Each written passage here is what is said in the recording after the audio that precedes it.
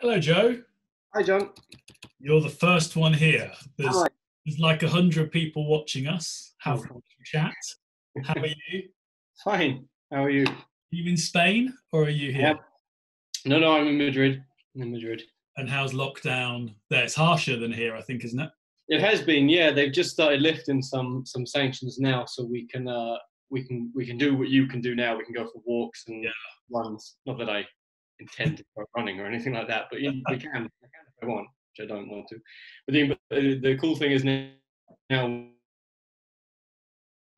we can uh, uh, you can take kids out, and we have uh, we've uh, four. You've got a little one, haven't you? Hello. Ah, That's- Nick. How are you? Hello, hello. Yeah, I'm good. I'm good. I like to see. I like Joe's put a bit of production design. He's put a load of scene cards behind him just so he looks legit. I didn't realise it would be so clear. I kind of- So you two spending lots of time together as you promote the movie on Zoom. Uh, uh, not too much. This is our first joint thing, is it? Oh, good. Did most? I Yeah. think so. Yeah.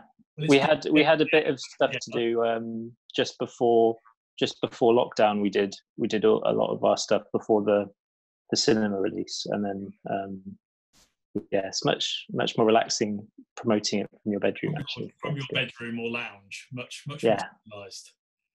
Uh, well, listen, guys, thank you for making time to chat to us at the NFTS because this is a really exciting masterclass. I tweeted about it at the weekend because um, the movie's brilliant. That's my that's my take on it. So we'll talk a bit about. We'll. Start, we'll start with that. Um, but actually, you guys are brilliant, and I wanted to come back. I wanted to tell the story of that a bit because I think it's really inspiring for the for the students that are watching us. And Nick, by the way, people are already watching us. There's like hundred people. So um, Oh shit! so.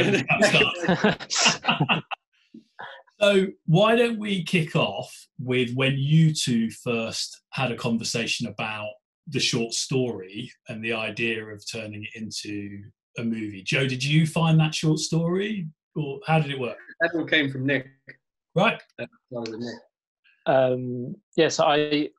Uh, it was kind of. Uh, uh, it was. I can't remember when we started doing our graduation film, but I. It, I was trying to. I was trying to start um, writing that. I just finished my digi fiction, Right. Do you know uh, what? which which I'd done which I'd done with Joe. That's brilliant because um, this timing is what the current students are doing right now. They've just finishing Oh. up PhD and they're going into grad, so it's great. Yeah, so it's around this time in uh, would be 2014, I guess. Um, I, uh, I Joe was too busy to work with me after Digi. After Digi, he said he didn't have time, so I was like, okay, I have to write myself, and I was doing quite a bad job because I hadn't I hadn't really written uh, anything by myself, but I was sort of giving it a go and failing miserably. So I was I, I bought I was buying loads of short story books and um, and it just so happened that Young Skins, uh, the collection by Colin Barrett, uh, came out um, at around the same time, and I, I bought it and read it and fell in love with with Calm with Horses in particular. Um, and I sent it to um, uh, Dan Emmerson, the producer, and he was he was trying to get the option on it, and and that kind of um, and actually while I was I was trying to cast my graduation film, I went to Troika Talent Agency um, to meet um, these agents, and they were sort of interested in signing me anyway after they saw my first year film, and, uh, um, and they were so they were sort of saying, "What do you want to do once you graduate?" Um, and I I mentioned Calm with Horses, and um, it it just so happened that um, Connor, the agent there, was also trying to option the same story for right. Wow. but for for DMC. Um, so it was just a bit of serendipity, really. And then um, and then you know I I was pretty sure I wanted Joe um, to adapt it because obviously we'd built up a really good relationship um, over you know over the NFTS, and thankfully he did um, end up coming to sort of uh, fix my grad film and, and co-write that. Yeah, we'll come. We'll come back to the shorts. Joe, did you start Um, writing this before you left the NFTS, or did that all happen afterwards? Yeah, it was before. It was before, wasn't it, Nick? It was. um yeah, I you know I opened up my my folder on it the other day, and I think it said the first thing I wrote on it was like June 2014 or something Right, like that. you were right in the middle of your final year. Yeah, yeah. So that's when I started writing the yeah the treatment for it. Then, um, then we did a pretty You had rigorous. nothing else to do, Joe. You had nothing else to do at that time. Your no. year of your course. It's wide open. Um, then there was uh, it was a pretty rigorous uh, um, treatment process for well over a year anyway before I started writing the actual script, first draft of the script. So- and who set that down? Was that what you guys wanted to do, or was that how it was going to get greenlit? that was I, I was completely putting my faith in in the producers in in in, Dan Emmerson and, and everyone at DMC for that. And that's that's you know I was just out of film school and that's they were telling me that's how it was done. And I was just kind of going with the flow. And it turns out that that was the absolute best way to do it because it, it, it wasn't something I had done before but it's something I make sure I do now on every project I write. Even if I'm writing something on spec I'll still go through a good few uh, treatments of something because I find that you not 100% but you get rid of a lot of the not not, not any, I don't say shit ideas but the ideas that had the potential to be a lot of crap when you came you know like uh, Nick will probably remember the kinds of things that we talked about doing. Um, they got fleshed out and put to one side throughout the treatment process. You know at one point arm was um, I don't know what was it, It became like a stable hand or something. Yeah. tried- we worked in Um, state. He was like bare knuckle boxing at night, and it was yeah. so, so that yeah, the treatment process. You kind rid of that. you, you answer some of those problems, and then how how long does that treatment end up kind of being? Is it? It sounds like it has to be quite substantive to get all the story beats. yeah, that was a that was a that was a bit of a beast in the end. That was a I think it was about ten thousand words or so. Wow. Big thing. So it was yeah. And we made like a we we we kind of illustrated it and made a sort of um almost almost try, turned it into like a graphic novel not not with illustrations but you know with mood images or or reference or you know pho- photos or or artworks or what or, or other Yeah. films to kind of Mhm. illustrate the tone For funders, of Nick. piece as you, yeah was actually for funding. Now that you to answer your earlier question, John. Now that I just remembered that now, Nick, that was that was like part of trying to get Film Four on board. We were, and because we were just out of film school, you know, it, it isn't the kind of thing we would need to do again now. But at the same time, it was extremely beneficial just from from my point of view, anyway, just from a story perspective, it, it was very good. But Yeah. yeah, it there was, was a there was a concern um, i guess we started so um, we, we we took the book to a few places including film 4 and everyone liked it but i guess there was a sort of unanimous concern uh, i guess when you first read the collection it's quite there's a bleakness to it and i think uh, on first reading a lot of people were seeing more of a kitchen sink kind of um, you know bleak social realism kind of Yeah. um, piece, which is not really what we saw. But um, so we felt, along with the treatment, we had to work quite hard to kind of um, counteract Yeah. people's expectations that it might be, uh, it, it, you know, it, it would be too grim, I guess. yeah So let's pause calm with horses for a second. I want to just talk a little bit about your relationship at the school briefly. So Nick, you made three shorts. The first one got nominated for a BAFTA for your first year film Slap. The second one, which was the first time you worked with Joe, I think, was Yeah. went to Sundance, got selected for Sundance, and you rocked up and chatted to the Mormons about your film. And then the third, the third one uh, uh, got nominated for a Student Academy Award. So pretty stellar sort of routine. But through the Digi film and the grad film, you two formed a really powerful sort of partnership. And I wondered, Nick, whether you might just talk a little bit about, you know, did you know that you were going to want to work with a writer? Does it feel for you like it lessens your sense of authorship working with a writer? There's a bit of that, I think, among some directors that I meet with. So I wonder whether you might talk a bit about why that relationship was important for you.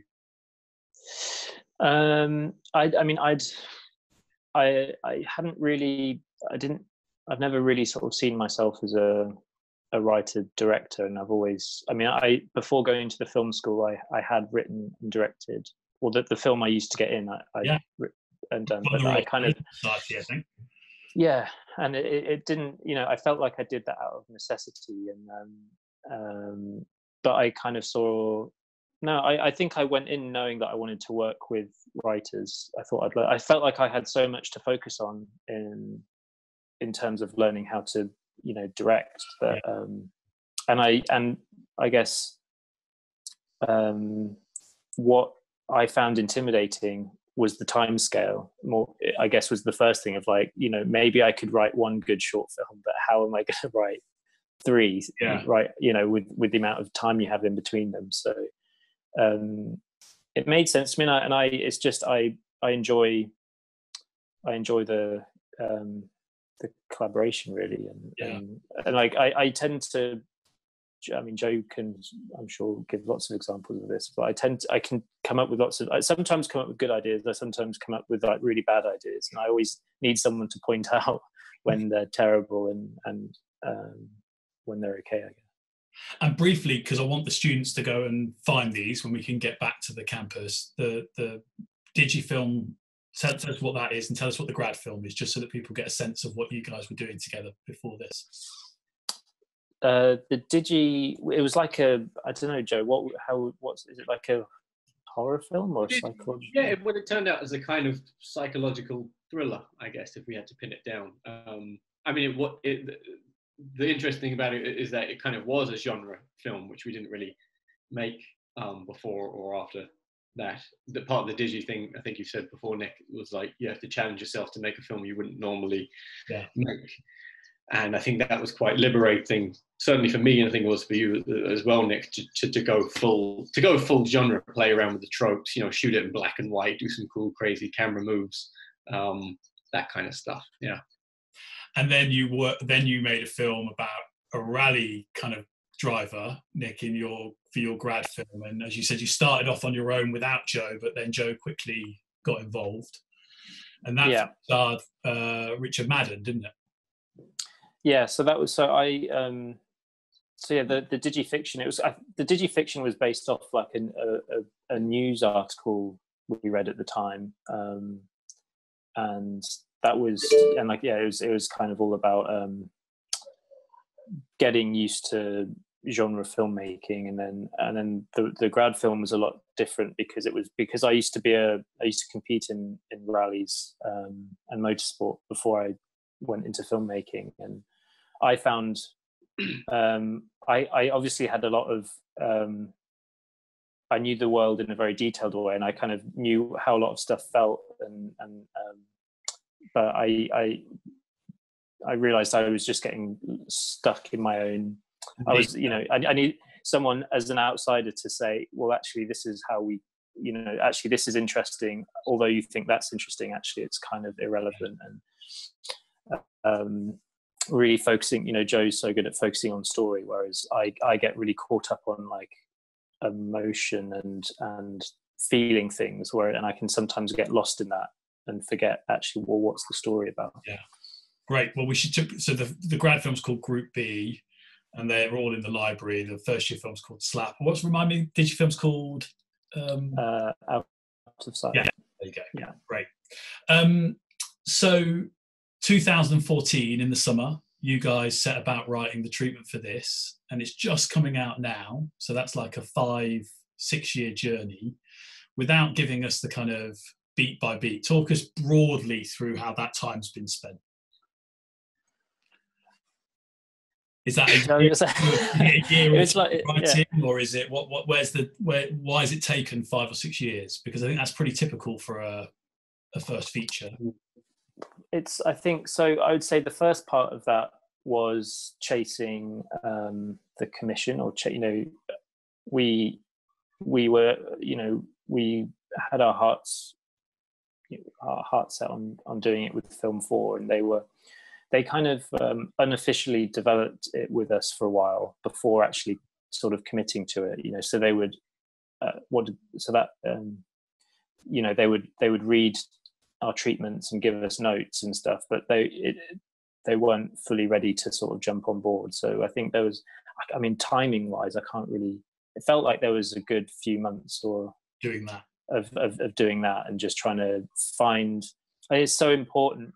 Um, there's a there's a definitely I there's a a desperation to just make your first film, but um, it's so important to make sure everyone knows the film that you're making and that everyone agrees and understands what film you're making. So I feel like there was a lot of time spent just making sure we we were all on the same creative page, I guess. Yeah. And then um, and I think and I think then I think in the end we Joe maybe you went we kind of went to draft immediately or they or we or maybe we yeah. haven't been given the green light. You you moved to writing the actual screenplay or? I think so. I think I can't remember exactly and while this is and Nick while this is all going on you you're not getting paid is that right? So you're you have to go off and direct TV while this is all happening. Yeah so I I yeah I I, I didn't um I didn't get paid anything until we went into production so um so I would I would do I was doing like six months six seven months of the year I'd be doing television. Yeah. Um, and then the rest of the time you know there'd always be a window in the second half of the year where I, we could work more in intensely on it and then there'd be periods where I would I would kind of go missing for a little bit um, yeah. And but, Joe, but likewise yeah and Joe, you're balancing this alongside a number of other projects as well as yeah. the reality of this sort of level of independent filmmaking. Yeah, it was. Um, so obviously, I was getting paid to write, but you know, I was just out of film school, so it wasn't. Um, you know, it wasn't by any means a lot to. I know this is going outside the. Yeah. I'm not complaining about that. No, no, it wasn't reality. It, it, wasn't a lot of money uh, um, yeah. to begin with, anyway. You know, because fair enough, it was my first first film, yeah. but um, so I was working on a on a lot of different things just to sort of to sort of get by, I guess. Really, um, I really didn't want to have to take on a part time job if I could help it. Yeah. Um, just because I just knowing the way I work, I don't particularly I don't work particularly well to a schedule because um, I love writing. So I, I, like to write when I want to write, if that makes yeah. sense. It's never really worked for me that like working between like seven and eleven, and then you have a whiskey, and then yeah. an old Hemingway thing, whatever. Because then, when because then if you don't write anything good for those hours, then you're just punishing yourself the rest of the day. Like, oh, you know. So, so I didn't want to have a part-time job. Is, is, is yeah, the long short of it. So I, I worked on quite a lot of other projects. Um, a lot of that stuff was trying to get original things off the ground, which in retrospect now probably wasn't a very wise move because you know no one wanted to actually make this stuff and and it was yeah. like I was getting a you know a small fee for uh you know for the copyright to some idea and then try and get off the ground as a TV show for a while and you know it wouldn't pan out blah, blah, blah, but um that's just I think that's just something at the same time that was an extremely good education in its own right straight out of film school to be yeah. working on multiple things you know because you work with a lot of different people and you start to realize okay well that that thing didn't work or that person didn't work or you know whatever it is. Um so I think you get throwing yourself into the deep end I think really helped me and so there's a screen. And by the way, before we move on, I just need to say Joe won um, best overall student when we were at the school because, and I remember you winning it because you got given a projector at the end of the grad ceremony, which was like this massive projector. And the reason Joe won it was because I don't, and I don't think in all my eight years at the school this has ever been done since. But you wrote seven short films that got made. Got made. That got made as part of the school. That's pretty rare for a screenwriting student to have seven shorts at the end. But anyway, that's an aside. Um, so we've got screenplay, and we're moving into production. How long can it, how long can you shoot for at a kind of budget level like this? How long was your shoot, Nick? Uh, I think the shoot was uh, 28, 29 days, something right. like that. Um, and prep was I can't remember. It was short, not not very long in prep as well, which was um, actually more of a killer than like I'd be. I guess I'd done doing TV. I was kind of used to doing like six or seven pages a day. So in a way, actually, it didn't feel. Other than the fact that you only we only had one camera, and I'd sort of gotten used to using two. Um, it felt fairly similar, but the thing that really the real killer is how little prep time you have because it just makes every it just the shoot becomes much harder because you just everyone's slightly chasing their tail a little bit. Yeah, yeah. and and you shoot in ireland west coast of ireland is that right?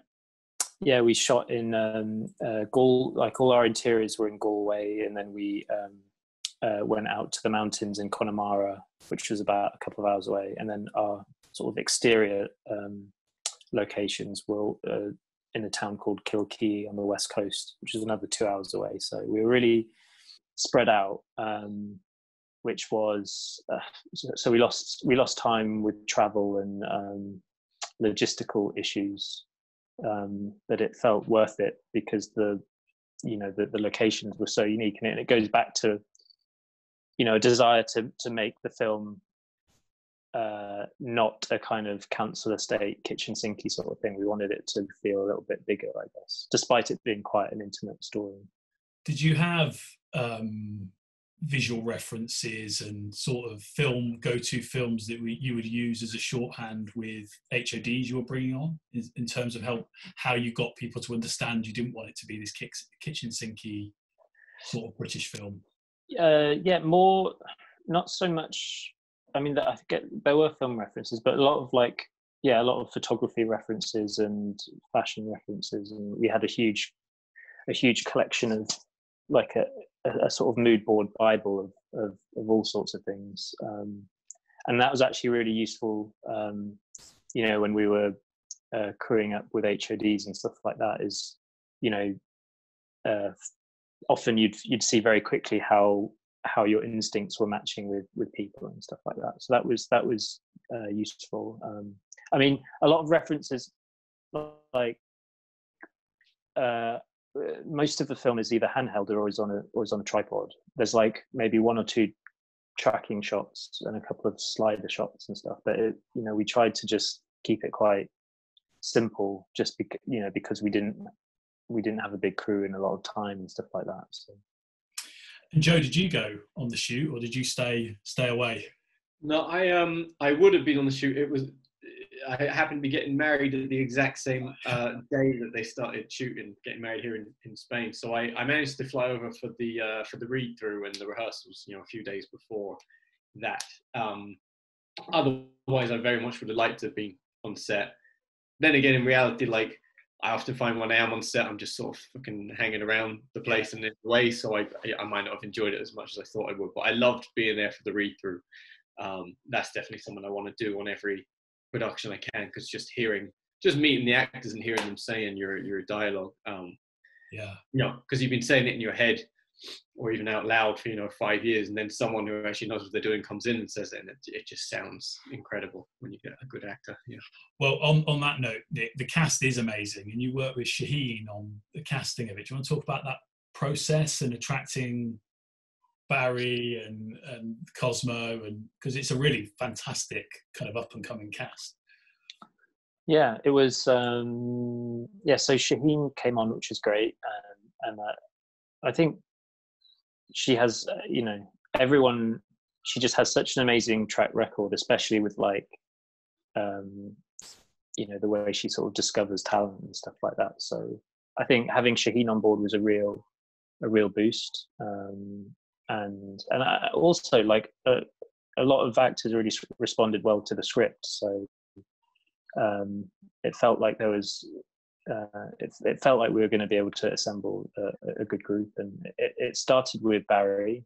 Um, we sort of wrote that part for him. Um, and you knew Barry, Nick, didn't you?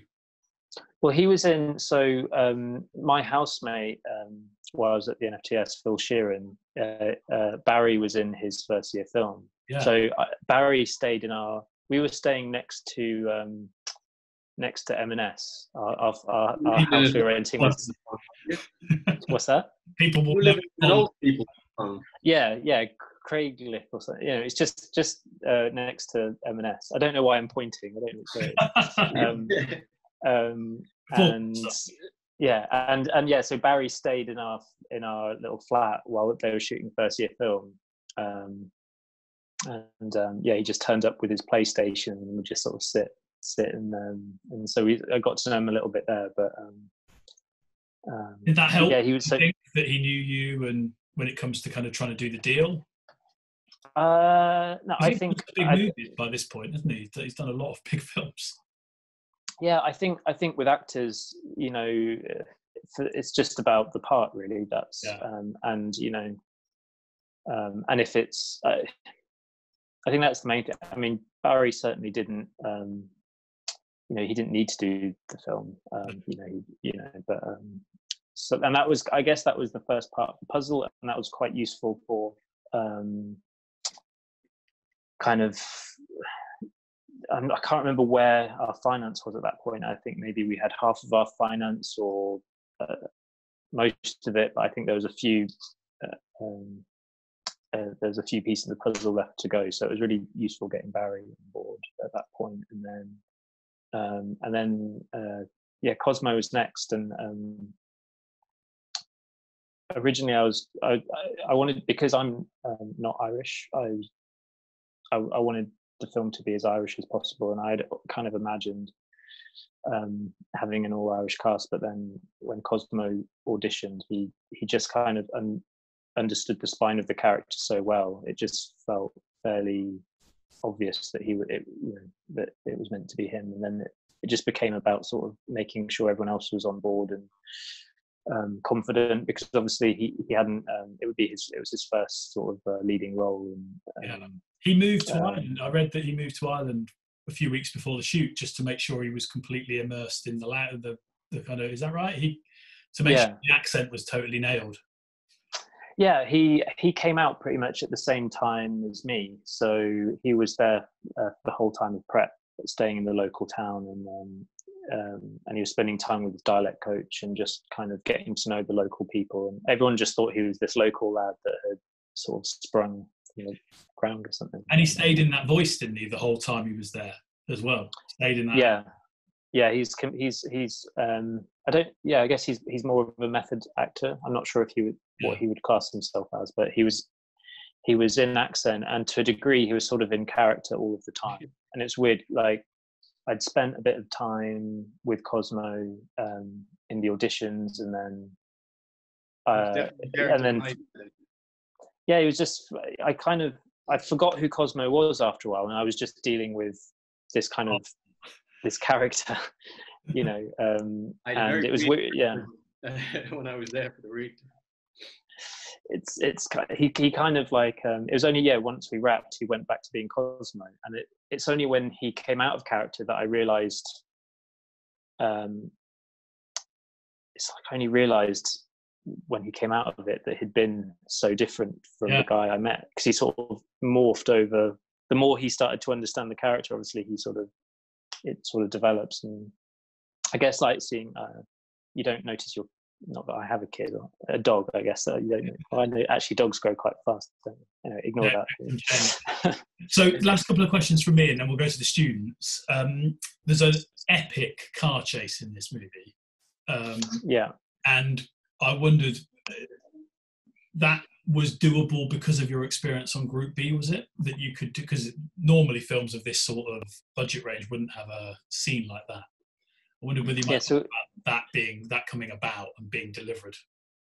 We had um yeah, it was uh we had one day to film that and you know anything anything with moving cars and car mounts and you know uh having you know police lock off roads and all that sort of stuff just uh, um, I knew from doing the, some television stuff that it's extremely time consuming but um, yeah, we basically it was basically a, a, carbon copy of what we did on our grad graduation film. So uh, it was kind of funny because everyone was really worried uh, on the production. Everyone was freaking out about it the whole time. I was like, "It's cool, it's fine, it's all going to be, it's all going to be easy." Um, and basically, we just had we had our hero car, which was a Toyota Celica, and then for that scene, we had a um, a left-hand drive copy of the same car so there could there was a stunt and but we put the right hand side dash in and a fake steering wheel. So the stunt driver would drive the car and cosmo would sit in the passenger seat and just kind of mimic what the stunt driver was doing. Kind of like maggie in the simpsons in the opening credits you know where she's kind of got the toy. That's essentially all it is and um, but it's really effective because you really get that you you're able to go sort of full speed rather than be on a low load or anything like that. Massively visceral it's really brilliant. And what's that like on the page, Joe? Do you how much? I mean, I know with Group B, which is all about all those details were important in the script. Yeah. Is it the same with this movie? With this, there was there was kind of the I like I always knew that Nick was going to do a, an amazing job with this, and the last thing I wanted to do was try and write a car, you know, like he swings it to the left. You can tell I don't drive. Um, so in on the page, it was more about the emotion of the scene and that you know just the absolute fear of you know at first he thinks he's gotten away and then he looks in the rearview mirror and then the think the other trucks coming over the hill. Things that didn't necessarily translate into actual yeah. shots, but, but the whole it's important to get the mood of it down. Yeah. I did some work with uh, with Gareth Evans, you know, directed the the Raid series in Gangs of London. I was, I was asking him about how do you write a fight, one of those fight scenes? What does that look like on the page? And he said it should be like three lines, just get the the the the feeling of the fight. Is it is it a scrap between two people who don't know how to fight? Is it too amazing martial art? You know what? Get the tone of it, and then just hand it over to your stunt coordinator or fight choreographer or whoever it is in charge. Because the uh, people hate it when you try and write that stuff mm. down. You know, that's left hand, whatever. And so I, I kind of did the same thing with with the with the car chase. Yeah. And Nick, um, the music, I know that that was a labour of love for you. Do you want to talk a bit about getting Blanck Mass involved? Because I saw this as a rough cut without that music, and the music's really a key part of the overall kind of delivery of the film. Yeah, um, it was kind of so the the story's quite um, quite sort of classical and, and straightforward. In well, there's a simplicity to it, I should say. Um, but at, but what was what's kind of deceptively complicated about it is that there are quite a lot of competing sort of mi- mixed tones in the story. There's the there's the kind of this this uh,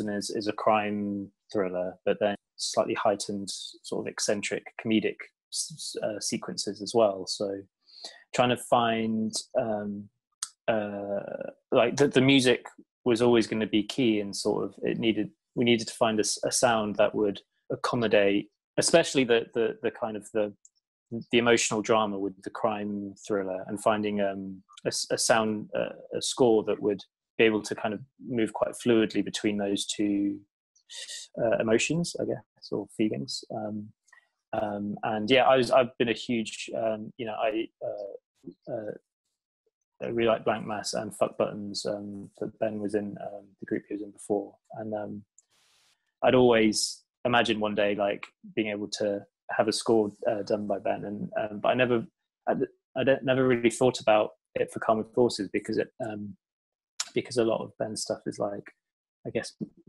there's like an aggression or an intensity to it, and I I, I wasn't um, I just didn't think. But then um, he he he wrote some pieces for it. He he watched the rough cut and sort of wrote a few pieces, and it just the, the like the opening theme. There's a, a, at the start of the film. There's a voiceover section where it basically sets up the story, and there's some you know a sort of uh, the track he wrote for that is just is the track he sent me as a demo, and I just didn't touch it because it was just it just felt it just really captured the kind of the, the tone um, one of the students actually yeah. asked whether how early you had the music, but it, it wasn't until you were in post. Is that right? You didn't have anything when you were on the shoot. No, no, it was all it was all post, and actually because the um, we needed the meet like for example, there's like a sequence uh, in the nightclub, and Ben wrote. So there's the music that's actually playing in the club, is that diegetically or, or whatever. Um, but it's also acting as as score because the the, the club track changes um, depending on um, uh, what's going on in the scene and, and, it sort of reacts to arm's emotions in the scene so it kind of doubles up in a way. Um, and it needed to the music needed because arm doesn't say much um, and sometimes isn't very good at expressing himself that often the the score had to be quite precisely connected to the edit and to the beats of the scenes and stuff. So, um, but funny enough, I did find like on my iPhone, I found an old recording of, of me testing bits of voiceover with blank Blanck Mass music, which was like from years ago, which I'd forgotten about. So and, and just actually, I'm going to I'm going to bring Marcus in in a minute. So get yourself ready, Marcus. But um, the voiceover, it's only at the beginning. Was there more of it in the script? What? How did that?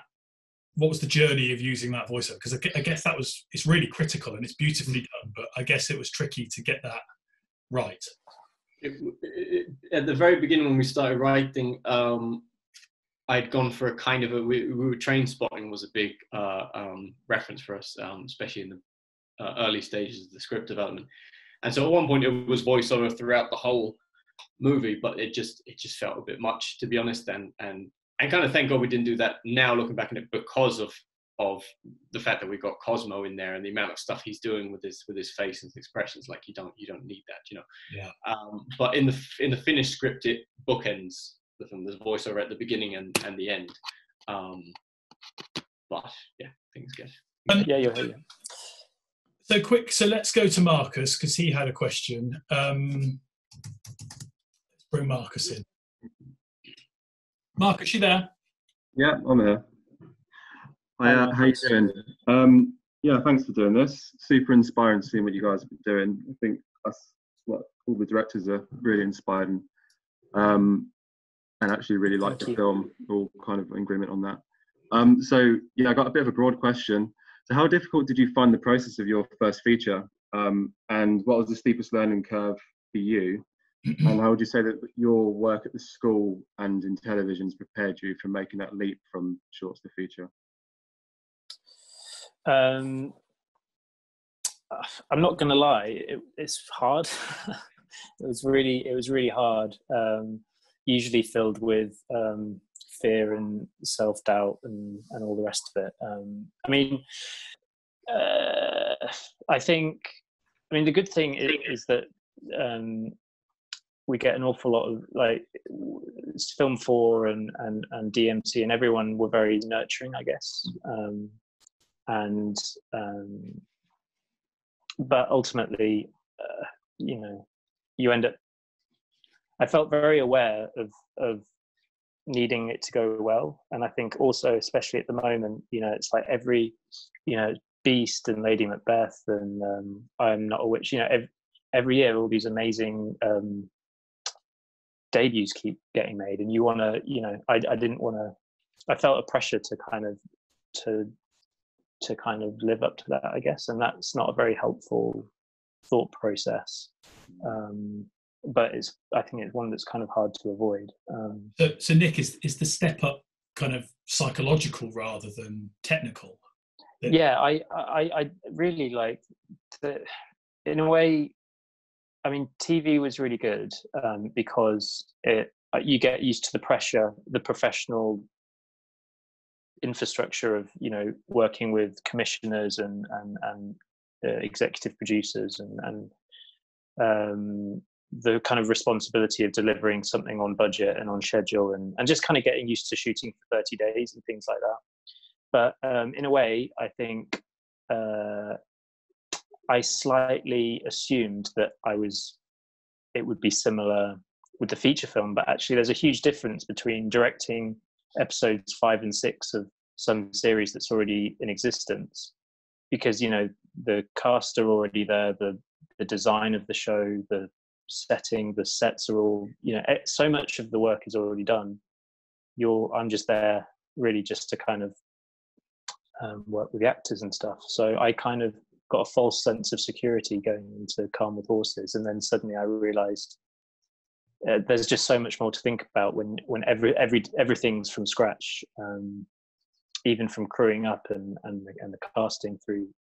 So and also suddenly you're you know in a position where you don't have a lot of prep time and you don't have a lot of money to throw at problems. And um, it feel in a way the feature film felt a bit more like going back to um, student films not not in terms of this uh, anything other than just there's not you just don't have much money and you have to be very creative and light on your feet and um, so no uh, yeah from a technical from a filmmaking point of view it's all fairly it's all fairly similar. The only difference is just what's going on in your head. Let's bring b in who had a question about the autism storyline.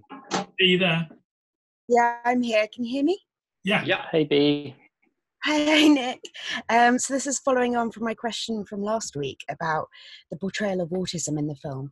Um, as someone on the spectrum, it felt really raw, and I was wondering if you could elaborate on how you worked with the actor playing Jack and how you got such a truthful performance and relationship between him and Um. Also, I should just say, um, I don't think I'd be sitting here without you and having worked on your films. And so, yeah, thank you very much.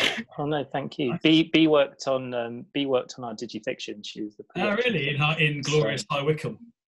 Yes. best production design job I've ever had. I got to turn up and catch a house. Yeah. um, so yeah, uh, well, we so we developed the script with the National Autistic Society um, from a really early stage. Um, I can't remember when exactly, Joe, but that so like that first draft, I think we went went to them, if not shortly Yeah. after. Might be wrong. so a lot of there was some stuff even at script stage they were they were kind of guiding uh, guiding us and and making sure you know they're saying one of the big crimes is to is to be too you know it's such uh, you know autism is so specific and so um you know the worst thing to do would be to kind of cherry pick um um or or have like an inconsistency to the character um because it's so um you know such a wider spectrum um so that was that was a large part and then um i guess in terms of in terms of like the performance of jack uh, be, because of the sort of stressful nature of, of the scenes he'd be in and his age, he was only five years old. Um, uh, they advised that we wouldn't, you know, we wouldn't be able to cast a, an autistic child, so we'd have to find a local, uh, a local boy and sort of create create a performance. Um, and and and and at, at, there was a stage where you know though we're sort of being encouraged to maybe cast a slightly older child because if he was nine years old, then you'd get more time on set and with a five year old you, you only get him for five hours a day and stuff like that but um, he had to be five years old for the story to be authentic because that's you know that's the age where um, because he's non-verbal that's that's kind of the age where it would be diagnosed. It, it just wouldn't occur any later than that. Um, so it was a case of you know visiting visiting lots of um, uh, families and spending time with the kids and kind of um, observing. And then um, actually it was um, Lenny Abrahamson um, sort of uh, chatted with me uh, on a few occasions and talked to me because he'd he'd done Room uh, with Jacob uh, Tremblay, the young boy, and obviously that put you know what he did in Room was incredible, and um, he gave me some really smart uh, tips, which was just uh, to to kind of not ex- to not expect to be able to um, um, sustain a whole performance like a whole scene you know it's about it's about kind of finding little moments that you can use in the edit so often the camera is very close on killian um, and it it was just a we played a game basically of um, you know uh, essentially kind of like you know when you try and pat your head and no yeah pat your head and Yeah. stroke your stomach essentially that was the basis of the performance. So um, if we were in a room if we're in the restaurant i'd ask him to count how many mustard bottles are on all the tables in the room. But at the same time he had to um, do his t- times tables in his head or i'd get him to try and use as many of his senses at once as and treat it as a game. And basically that was the kind of baseline for the performance and then it was just about getting him to do specific whatever the specifics of the, the scene were Great. Jack, I'm not going to bring Jack in, but Jack had a follow up kind of, he had a question related to this was about working with actors generally and how you go about. I mean, the performances are brilliant. So, does that, is there rehearsal? How do you go about getting trust and building the character with with the cast? um, uh, so we didn't really have any rehearsal but um, uh, I would use kind of the audition process as a lot of trial and error, especially with with Jack, the character of Jack. You know, so I I must have seen a hundred boys maybe. Um, Yeah. Um, so each time, I would kind of practice a new direction or practice a new. You know, I basically use it as research to try and work out how to kind of um, generate the performance. Um, so that was a lot of trial and error really, and then once once he was cast, um, it was about just we I made sure any sort of stressful emotional scenes were were scheduled as late as possible within the shoot. Um, so he had plenty of time to be uh, comfortable and and start and understand the process. Um, and and yeah, just spending as much time with with Cosmo and Eve as possible, and and and learning and having a very strict boundary between um, what is play and make believe uh, and what's not. So if there's like a stressful scene, it was very important that when we called cut, everyone made sure there was a, a clear difference that it was make believe and fun. Um, so yeah, stuff like that. Let's bring Jack Pollington in. Uh, see how quick I can type. Are you there, Jack? Hello. Hey guys. Hey Jack. Hey, thanks for chatting to us. Um, the yeah, film no is really, really good. So congratulations to both of you. Um, you, you mentioned a couple of times about um, DMC's involvement, which is obviously Michael Fassbender's uh, production company. Uh, simply, my question is, how did that come about, um, and what was the experience of working with them like? So yeah, uh, so yes, as um, so I I'd taken the book to Dan Emmerson, who at the time was an assistant at Working Title, and we'd kind of met a few times. I think even before uh, I started the NFTS, and he was he, we were looking to sort of do something together, and um, he was trying to option the story um, for me or for us, and um, and it's when I was at Troika um, uh, meeting these agents, casting my grad film that. It, it turns out Connor, the agent at Troika, um, who also runs DMC, um, was was trying to option it for for for Fassbender. So then he, you know, it was just a moment of luck really when he said, "Well, why don't eh, you know?" Because I was joining their agency anyway. He said, "Well, why don't you? Why don't you? Why don't we option it at DMC?" And then um, Dan Dan joined DMC. He left Working Title, joined DMC, and became their sort of in-house producer. Um, and we all sort of joined up together. And it's been, you know, it was it was, it was uh, it's been a lot of fun just because I guess it was it's all of our first film. Um, you know, Dan's Dan's a similar age as well, so we had we had a lot of hunger to get it made, you know, which was um, and we sort of felt it felt like we were all in it together. Joe, Joe, you signed to Troika as well. I did shortly after. I, I, I then kind of like came into that whole thing that that was going on there. Um, Nick obviously very kindly put my name forward to to come onto the project as a writer, you know, from our, you know, because we had the experience together. And so I sent my sample scripts to Dan Emmerson at DMC, who then passed them on to to the people at Troika. Just, I think, just because he liked them, just out of the kindness of his heart, sent them on to, the, and and then so I found I ended up finding an agent there. So again, it was just you know this very serendipitous thing, as as Nick said. But yeah, my experience working with DMC has been absolutely brilliant. I have uh, I'm working on two other projects with them now, and and looking for a third any day. You know, I, yeah, they're great. They're great. Um, Dan in particular because he, you know, it was his first feature as well, mm. which is mad thinking about it now actually because he was always, you know, he's one of my good friends now, but he was the boss. He didn't mind cracking the whip, and and and I love that about Dan. He's a, he's a similar age to us, but he very much yeah, he very much led the ship.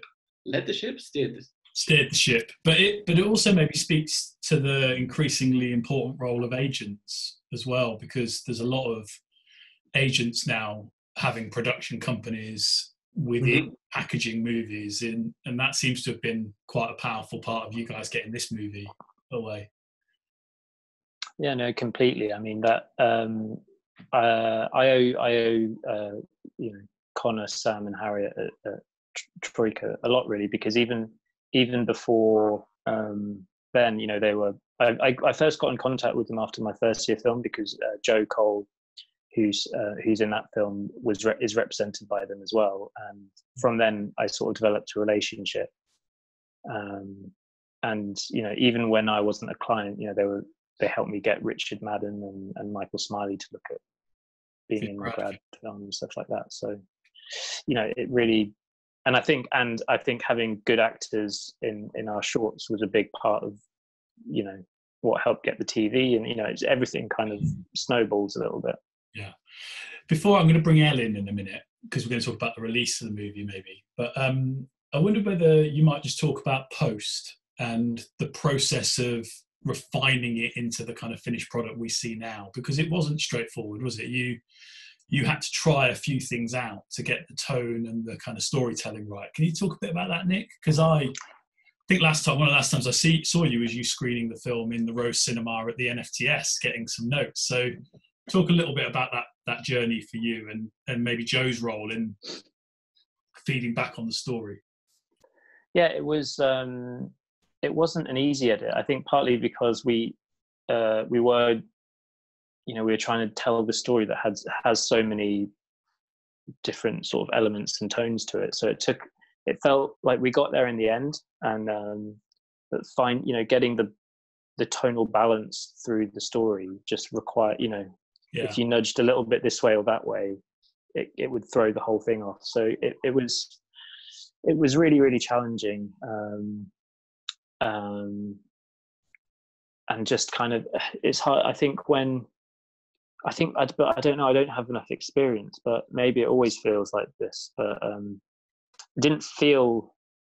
It, it felt like I was trying to find the film for a lot longer than normal. And then again, it's like your own insecurities of like, well, does everyone think I've done a shit job? And are people losing faith? And you know, all, all, it's just again i felt i felt as much pressure on if it may be more pressure on my shoulders in the in the post process even than on the shoot um, i yeah. guess but you have um, i remember you screened it to us and you had moved it, the introduction of Paulie, Paulie's characters earlier with the in a cut before he had come much later in the story. Is that right? I mean, there's some quite big plot things that you you move around to try and get the tone right. Yeah, we we we did a couple of days pickup um, pickup scenes to basically introduce that character much earlier because um, we in in the original cut um, he's not you don't you hear a lot about him but you don't you don't see him until the third act and um, it it it was kind of interesting but you kind of um, we did some test screenings and like one of the main notes was why why should we be scared of this guy so yeah. that was like and it was good and it was kind of obviously it's scary having uh you know having a test screening reading that there's like a you know it's much nicer if everyone just goes oh your film's nice but we already we already know from the NFTS that that doesn't that doesn't happen after the review. So, what about um, but, you on that? Because you must have made that decision for us not to see that character until the third. Yeah, it was something that I had absolutely stuck to my guns on for the whole script process. So that was quite a funny one. Funny from my point of view, not funny for poor Nick. But I I stuck to my guns thinking like, no, it's like apocalypse now. You're you're gonna hear about this guy for the whole movie, and then he's gonna appear in the last 20 minutes out of the in shadows. Um, but it just didn't it didn't really work like that. So you had to bring him in earlier. So that was that was actually um, it wasn't you know it was I don't think it was that I was wrong at the script. It just it was just an important lesson I think in the end just to watch something turn out differently in the edit and say okay well how do we adapt? How do we you to know respond, to respond to what got rather than the, yeah. what you thought you were going to have. Exactly, and letting go of what you what you what you had in mind, and yeah, making making making what you have work even better than what your original idea might have been. You know, it's like already this was an adaptation, but I think in general, I always try and see scripts now as you know when they go from script to screen as a process of of, of adaptation. I think um, you know things are going to change, and hopefully mostly it's going to be for the better. Yeah, it certainly was, certainly was in this case anyway. Nick, it must have been good for you to be able to pick up the phone to Joe and show cuts and talk about all that stuff as to have a, a kind of friend in it because it must it goes on for a long time the post the post yeah yeah it's a real it's a real um uh marathon actually more than I realized. Um, because again, in TV, there's like a hard cutoff date. You have like five weeks editing and three weeks of like finessing, and then you're done. You know, whether you like it or not. Um, and that was the amazing thing about you know working with Film Four is it was about getting the film right. You know, um, and spent you know so we were post went on for we shot the film in 20 uh, when did we shoot it? 2018, summer of 2018. Uh, um, and we and we pitch locked it last August or something. Yeah, so it's a long, a long process. Yeah. Um, but yeah, it's great, great having uh, you know, just again, I when you're like in the trenches and you're kind of looking at the details all the time, it was really useful. But you know, Joe was always um, very good at coming in and having and reminding me of like the overall story or what you know character motivations or you know I, I could box you know could easily go off on a tangent that wasn't very helpful and stuff like that i know and then, i know one of the bits of post that you found most pleasurable was being able to work with Mattis again on the sound design. I'm sure there's probably some sound students, but I noticed in the credits that actually the location sounds done by NFTS students, graduates who are from your year, I think, were they? And then yeah, Mattis yeah. worked with you on Group B. Yeah, yeah, and, and and Morgan did Morgan did the dialogue edit. Oh, okay. Well. Um, yeah, it was it was really. Um, I mean, Mattis. So yeah, Mattis. Uh, I did uh, slap with and uh, and uh, our grad film, and um, he just yeah, it's just he's yeah, he's just I don't know this. I really, really. I mean, I appreciate everyone uh, who's at the NFTS, but I, I really I think especially since working in industry a bit as well, is it, you know the the quality of the sound students is is kind of hard to beat really. That's great. And um, and also just uh, the more you work with your friends, you know, the more you know, especially with like a low budget thing as well. You kind of need people to go the extra mile and to for it to not, you know, obviously there are lots of people that are willing to do you favors, but it's better to find people that don't see it as doing you a favor. They're just as invested as you are yeah. um, which is which is what we got. Yeah great. Let's bring Elle in who wants to talk about the release of the the movie. You there Elle hello. Can you hello. guys hear me? Hi uh, hi guys.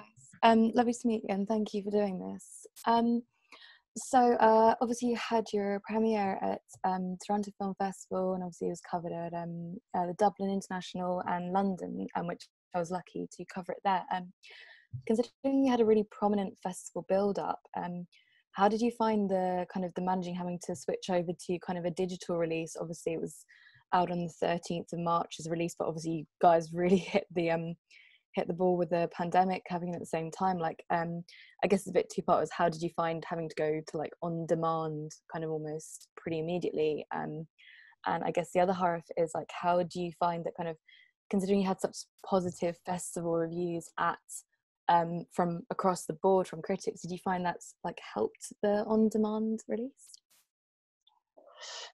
Um i think yeah uh, uh, the the timing with the pandemic was it was it was a shame um, because yeah we had it we were releasing on 110 screens for six weeks and we lasted three days before they all shut. So and nick, you, and nick you were literally in sheffield or somewhere weren't you doing q and a's to promote the film? You weren't it wasn't as if you hadn't quite started you were on tour. Yeah yeah it, no it was kind of yeah the it was all you could the writing was on the wall and it was just kind of it was like it was like uh, playing a violin on the Titanic being like oh, should we stop doing this? Um, it was so yeah it was pretty gutting but at the same time um, I was I think I was just so for a long you know I had so much anxiety the whole time you know there's several points where I was sure the film was a failure and I was sure my film career was over and I was sure that this whole thing was a big mistake um, so I was just I was just so happy that people liked it. But to be honest, you know, it would be obviously I prefer more people to see it in cinema. And there's part of me that thinks, well, when when will I ever get to have another film in the cinema?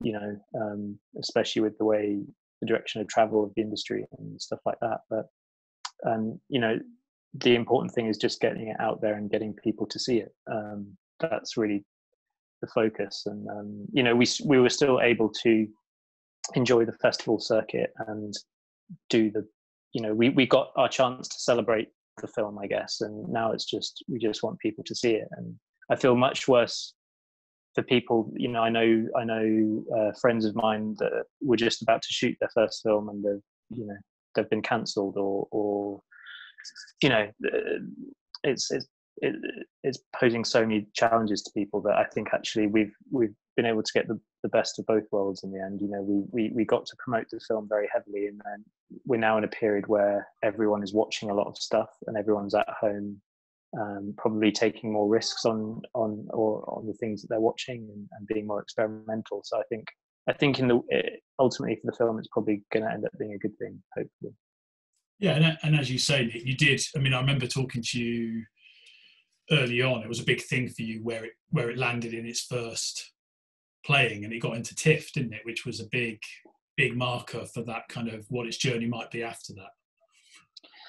Yeah, I mean, we were all, you know, we we were desperate to get into TIFF. But I guess um, also, you know, it was it was um, it's kind of scary once you get there, though. I guess it's the first time. It's the first time um, that you know we've had our work uh, reviewed, in, you know, by all the critics and stuff, and that's pretty terrifying. And like with when you're doing a student short, you a lot of it's about learning. So you try and you try and make a good film, but uh, if it doesn't quite work out, you're not happy with it, you can move on to the next one. And you yeah. just don't have to show anyone. Or with an episode of TV, obviously, you know, the, you, the aim is to do a good job. But if, if you didn't, for whatever reason, um, you may not get hired again. But also, you know, as a director, it, it, you could sort of hide your influence on it or whatever. Whereas, no matter what happened with Calm with Horses, we were going to have to stand next to it and beat the drum.